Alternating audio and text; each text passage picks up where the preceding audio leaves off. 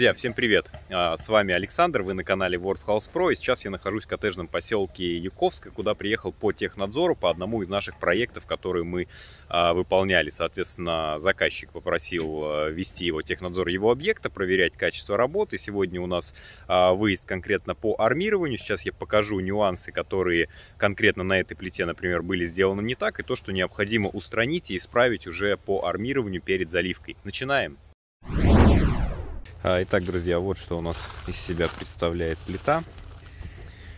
Площадь здесь около 300 квадратных метров. Э, большой дом в стиле хай-тек. Э, покажу и проект э, обязательно сейчас.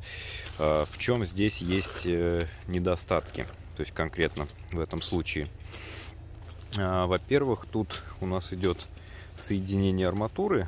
Вот, к примеру, на вот этом месте а, по центру, то есть у нас идет соединение арматуры слева и справа. И она соединяется здесь вот э, таким образом. То есть тут у нас идет нахлест по 40 сантиметров, то есть этого достаточно для 12 арматуры. Нахлест у нее должен быть не менее 35 диаметров. А, соответственно, и вот это соединение, они должны быть через одну ячейку. То есть получается, что здесь вот если мы смотрим, то они соединены и снизу, и сверху, вот так вот как бы стыки друг за другом. Они должны быть либо в шахматном порядке, а, либо, ну, вообще как бы на этом месте стыка не должно быть. То есть, к примеру, как выполнено вот здесь.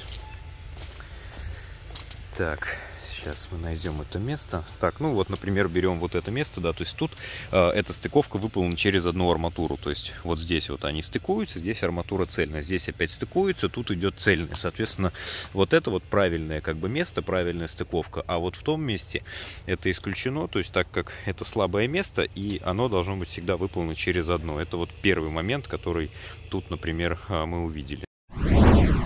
А, следующий момент это выполнение защитного слоя. То есть по проекту у нас защитный слой в этом месте идет 45 а, миллиметров. Ну вообще везде, да, по плите. Получается, что здесь а, поставлены стульчики не совсем подходящие, да, то есть они продавливают вот здесь вот э, щебень за счет веса, как бы арматурной сетки, и, соответственно, продавливают пленку. И арматура оказывается лежащей практически на земле, то есть я сюда еле-еле просовываю палец, то есть тут даже нет одного сантиметра. Соответственно, если в таком состоянии залить плиту, то защитный слой под арматуру, он будет практически отсутствовать, то есть вот тут вот вообще она вот лежит прямо на щебне. То есть такого ни в коем случае не должно быть. То есть здесь необходимо заменить вот эти вот а, стульчики а, с вот такими вот как бы лапками ну, не лапками, точнее, тут такие вот выступы, надо заменить на круглые стульчики с круглой подставкой, которая более равномерно распределяет как бы э, нагрузку от сетки, соответственно, не будет продавливаться. Защитный слой, здесь должен быть обязательно не менее э, там 4,5-5 сантиметров, иначе как бы арматура будет работать уже некорректно. А также здесь как бы вот э, по проекту заложены пешки, то есть с пешками тут все в порядке, они как бы привязаны с нужным шагом, но есть момент то, что пешка не должна должна вот так вот выступать вверх. То есть у нас получается, что есть э, как бы вот э, две арматурины перекрестные верхней сетки, и вот это является уже третьей арматурой. То есть такого не должно быть, то есть эта пешка, она должна идти в уровне вот с этой вот сеткой. То есть она должна быть поменьше, то есть тут она опять же должна лежать не наверху, а должна лежать вот здесь, стык вот с этой вот арматуриной, а вверху она должна лежать стык с этой. Соответственно, тут ее надо просто будет перевязать и переставить ниже, чтобы э, эта конструкция была опять же корректна, потому что в этом случае как бы усиление уже работает неправильно. Она должна работать именно в стыке с рабочим вот этим стержнем. Здесь у нас идет отделение террасы и дома, и установлены вот эти вот термовкладыши из пеноплекса. И они обрамлены вот такими вот элементами, то есть это гнутая арматура, то есть потому что здесь уже размер получается 30, а шаг 20 на 20, но термовкладыш меньше делать как бы не стоит. Поэтому они обрамлены вот такими вот элементами, которые также заложены по проекту и нагнуты из 12 арматуры, но не везде есть соединение, то есть она вот как бы тут вот так вот получается играет. Соответственно, это тоже как бы а, косяк, который нужно устранять. А, помимо этого, именно сама вязка тоже, да, видите, как бы она должна идти в шахматном порядке. То есть вот здесь есть привязано, здесь не привязано. Здесь она должна быть уже привязана. И там как бы, ну так вот через одну. Соответственно, по диагоналям они должны быть все привязаны. Здесь как бы, опять же, как бы арматура э, просто болтается и не завязана. Это тоже недопустимо. Вязка обязательно должна быть именно в шахматном порядке.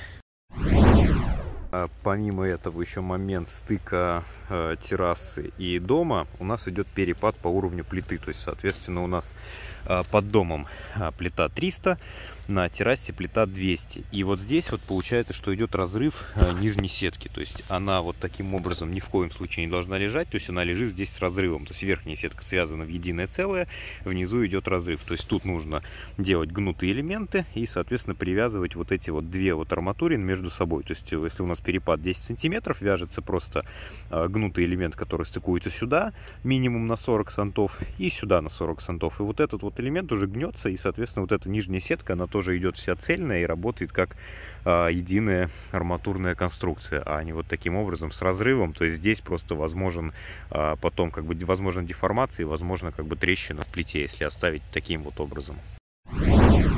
Из-за того, что вот сейчас стульчики вот эти лежат не совсем правильно, то есть где-то провалились, где-то остались, сетка идет немножко волнами.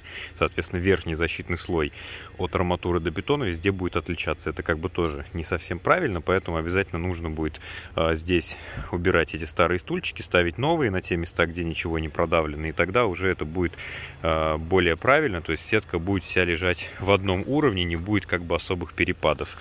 А, арматурные выпуска, соответственно, здесь э, стоят, опять же, не совсем корректно в том плане, что они полностью соединяются на сварке. То есть такого тоже не должно быть. Потому что где место сварки, здесь арматура ослаблена. И в этом месте, если идет какая-то деформация, то сварка просто отскакивает. И арматура никак не держит. И, соответственно, ее а, как бы можно прихватывать на сварку, но также дополнительно нужно еще привязывать а, проволокой уже к а, основной рабочей арматуре. То есть, чтобы выпуска не просто стояли только на там двух-трех точках сварки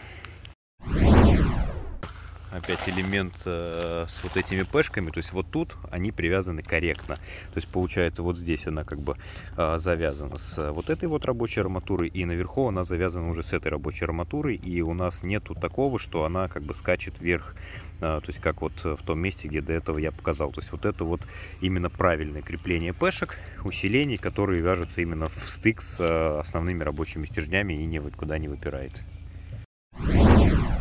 Итак, вот это у нас идет проект а, самого дома, то есть это раздел КЖ, ну здесь это план котлована под саму плиту, и, соответственно, дальше идут э, все чертежи касаемо армирования опалубки. То есть вот это вот конкретно опалубочный чертеж.